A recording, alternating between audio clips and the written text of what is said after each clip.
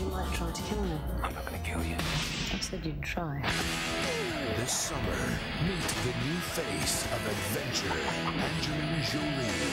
Tomb Raider, rated PG-13. See today everywhere.